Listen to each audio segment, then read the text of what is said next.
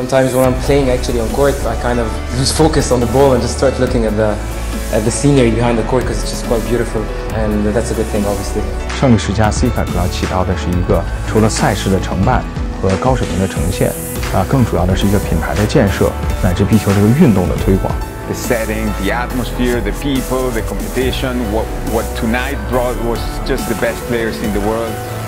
matches our brand perfectly because we are reflecting the challenger brand.